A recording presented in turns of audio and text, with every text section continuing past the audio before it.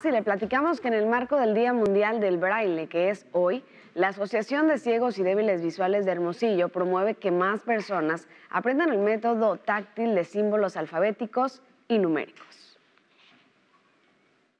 Sí sería muy interesante que si mucha gente conociera del sistema Braille, pues y que se aplicara, por supuesto, también ¿no? en muchos centros, en las oficinas, donde nosotros nos movemos. En el marco del 4 de enero, Día Mundial del Braille, la presidenta de la Asociación de Ciegos y Débiles Visuales de Hermosillo, Lidia Cisneros, comenta que uno de los objetivos de la organización es que más personas con y sin discapacidad se den a la tarea de aprender el método táctil de símbolos alfabéticos y numéricos que utiliza seis puntos para representar letras y números, un sistema inclusivo que permite la alfabetización de niños y adultos con discapacidad visual, pero también a todo el que desea aprenderlo con el propósito de eliminar barreras y lograr la plena integración. Me cuenta que un cuadrito son seis puntitos y de ahí es la referencia para ir formando cada letra del abecedario.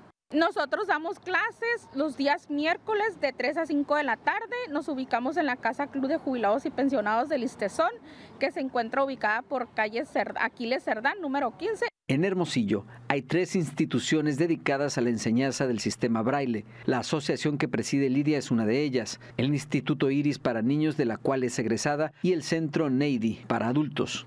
Lidia comenta que por fortuna cada día son más los espacios que tratan de integrar el sistema braille, pero aún falta mucho por hacer y lo principal, que más personas se interesen para aprenderlo. Sí, sí hay materiales. De hecho, Cobach sí tiene libros en braille. Creo que la Juan Escutia también tiene. Según yo, nada más en, los menús, en, en muy pocos menús de los restaurantes, como le digo, y en las cajas de los medicamentos. En billetes, pero no lo traen tan realzado lo traen muy, casi no se siente.